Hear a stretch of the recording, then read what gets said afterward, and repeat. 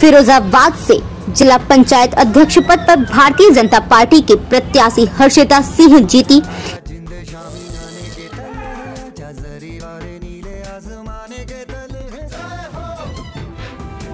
Samajwadi party की प्रत्याशी रुचि यादव ने अधिकारियों पर लगाए आरोप। अधिकारियों ने उनकी एक नहीं सुनी, अपनी मर्ज़ी से काम करते रहे।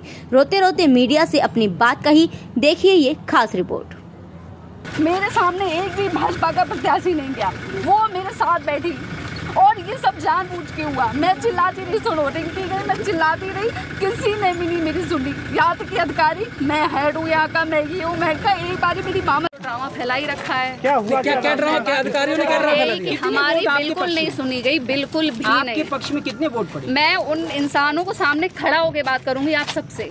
उनने मेरी एक नहीं सुनी। किसने नहीं सुनी? जो अधिकारी थे जो प्रशासन था कोई भी किसी एक बंदे नहीं हमारी मेरे कैंडिडेट को दूसरे रास्ते से अंदर लेके गए।